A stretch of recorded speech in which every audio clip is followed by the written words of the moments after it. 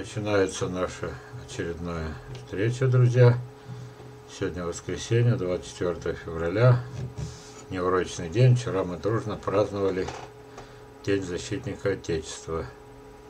И мне позвонила администратор сайта моего и сказала, вы, Валерий Константинович, защитник деревьев, значит, вы защитник Отечества, потому что одно другое не может быть. Вот. Сейчас рядом со мной мой садокладчик. Так, вы его уже знаете, Тимофей Николаевич. Вот сейчас я... У нас тут картинки нету этой, но может включу на секунду. Вот он так выглядит. Здравствуйте. Так, э, слушай сюда, Тимофей. Вот эти вот картинки, одна и вторая. Я тебе специально не показывал, ты их не видел ни разу в жизни. Вот, еще два года назад ты не интересовался садоводством, просто позировал. Так, давай отсюда начнем. Ты садокладчик, поехали. Что? Что? Рассказывай. Что? Так, ну придется это. Пятерку тоже не получишь. Что в этой бочке? Вода дождевая Так, а вот в кране из колодца. из колодца. Давайте продолжай.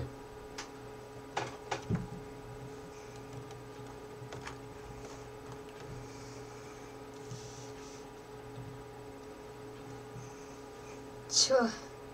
Да, ты сегодня меня подвел. Ладно, наводящий вопрос. Так, какая вода лучше? Дождевая. Почему?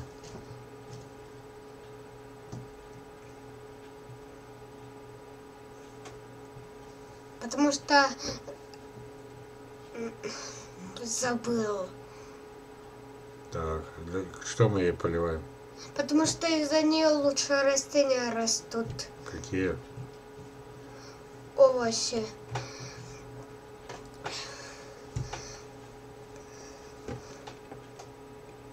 Чё? Говори, говори, говори. Капуста, морковь, э, свекла и так далее. Ладно. Ну хорошо. А для чего тогда это мы еще и пользуемся колодезной водой?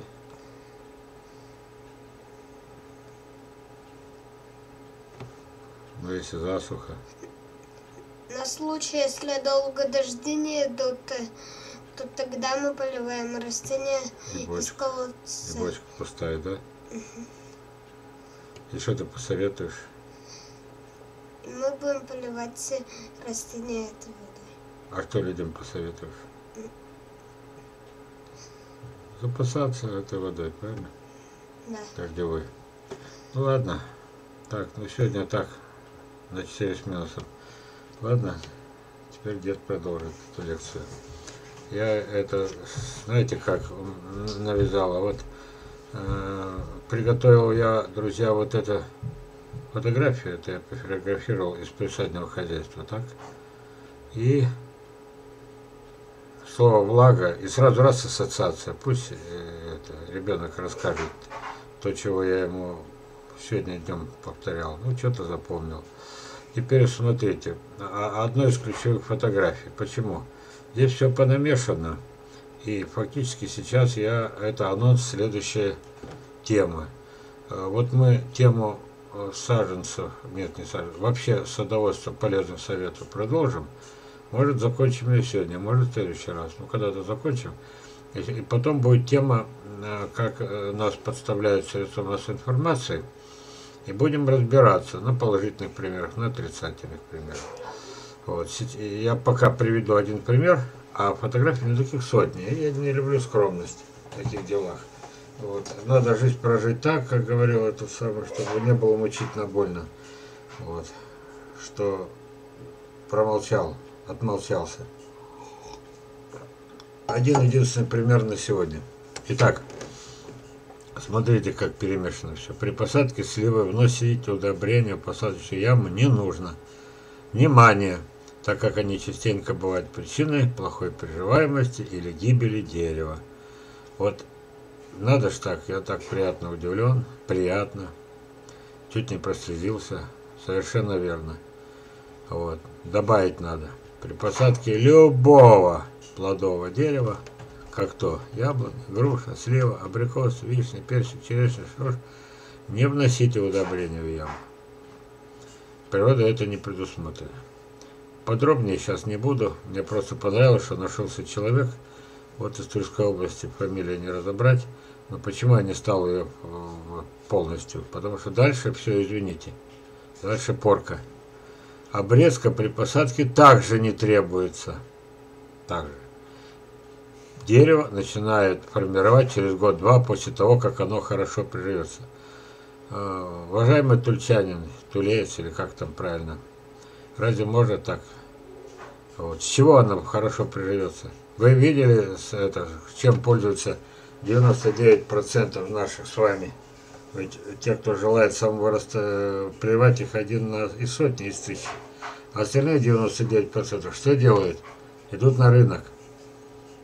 Вот. И вот без этой обрезки, которая будет, не требуется, требуется – вот, вот это вот мешанина, такой полезный совет, и тут же все испортили. Она не может хорошо прижиться. Изувеченные корни не могут дать достаточное количество, чтобы туда, в двухметровый саженец, это средняя величина продажных саженцев, полтора-два метра, чтобы туда до самого верху поступала вода. Начинается болезнь, короткая жизнь, еще и быстрая смерть. Вот это вот, а ведь редактора этого ПХ, они уже давно знают меня. Вот. У них уже начинается глотать валидол, когда их вспоминаю. Не, не всегда добрым словом. Вот. Разве можно вот это было печатать? Пожалуйста, редактора, к вам обращаюсь. Пишите вот такие вещи. Вот. Не требуется. Когда человек четкие утверждения имеет, причем вы знаете, что требуется, значит, пожалуйста, вот здесь вот не опровержение, нет а должно быть рецензия. Обязательно от меня, все, раз уж так меня любите. Дальше, как сказки, страшнее. Корневую шейку при посадке следует заглублять от 5 до 20 сантиметров. Да, я с вами согласен. Настолько слива любит влагу, что она почти, не боится почти, увлажнения и даже корневой шейки. Да, это я в свое время умудрился провести невольный эксперимент. Накопал штук 30-40 слив, накопал я их в чужих садах, вот, в виде веника. Ну, мне надо было расширять эксперименты. Землю дали 5 гектар. В виде веника, все вместе, и закопал. А весной я о них даже не вспомнил. Вспомнил где-то к июлю. Что вы думаете? Весь этот веник рос прекрасно, рос прямо при копе, несмотря на то, что половина э, кроны была под, под, под, под, под землей, ниже уровня почвы. В этом вы правы. Беда-то в другом. Беда заключается в том, что вот так же, как здесь при посадке слива надо было писать любого растения. Вот здесь надо было писать, что любое вид дерева, особенно абрикос, особенно грушу, включая и сливу, чтобы не давать повода людям заниматься ерундой, не сли, надо писать, не заглублять, корневая шейка, это все.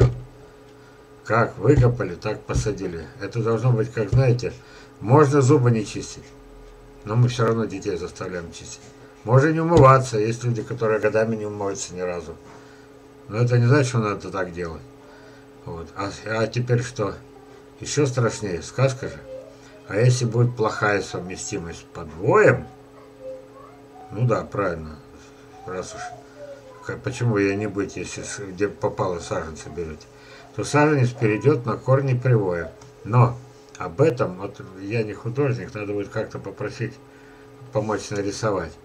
Потом действительно, когда прививка, ее глубоко закопать, слива и яблони, обычно они, чаще всего, слива и яблони, вот, дают э, корни добавочные, допустим, закопали, и прививка под, снег, под, под, под уровнем почвы.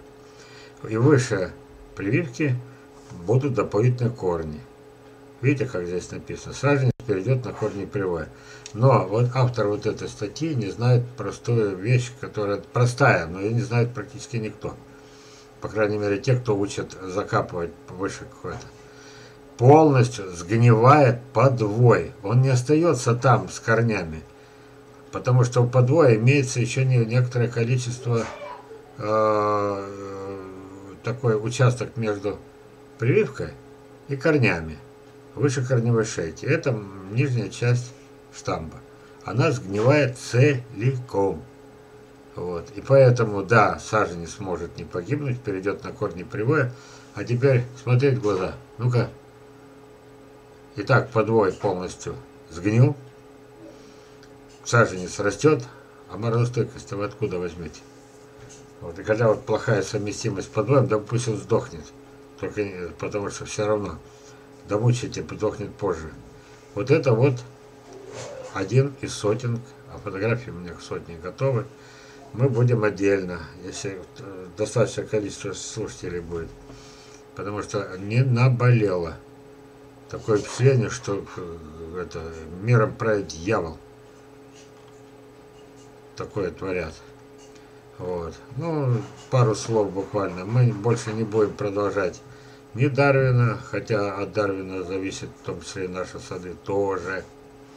Вот, он любил, мне нравится, что, что как, откуда он такой владел информацией о вегетативной гибридизации, которую зачеркнули уже в 20 веке вместе с марганистами, вместе с Лысенко. Как так случилось? Я ничего понять не могу. Откуда он столько знал? Вот. И Наверное, он был все-таки садоводом вроде меня, любителем. Вот то, что написал человек, я просто решил заступиться за него. Вот. Нет противоречия между божественным происхождением и Дарвином. Вот здесь написал человек, каким образом посредственный ученик мог написать, интересно, да, неправильный, но очень большой наукообразный, кстати, он не наукообразный, научный, вот, труд.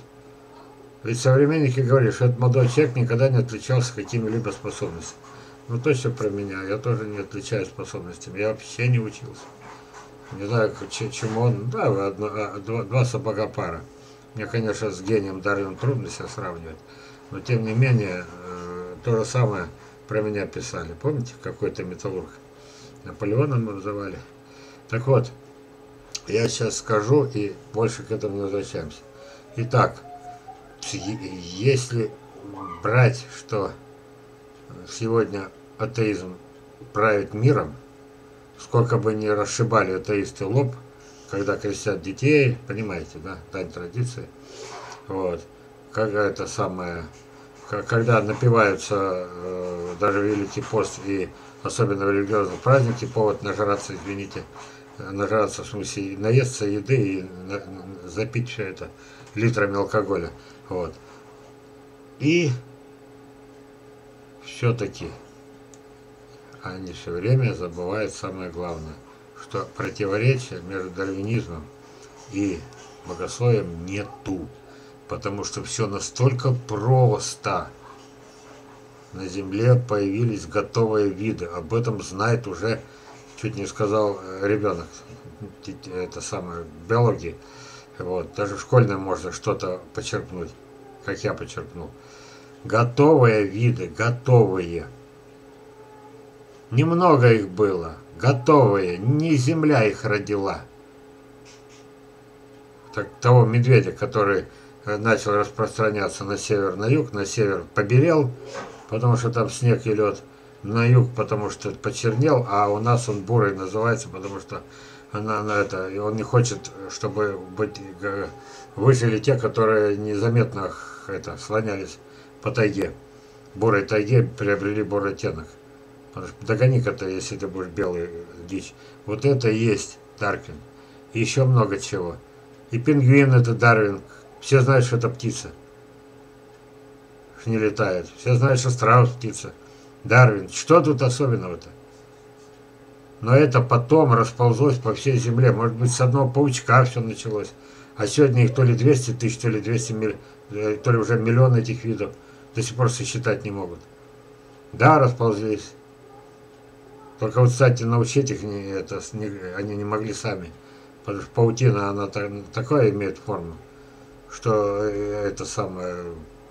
Ну, в общем, все, приехали. Поняли меня, да?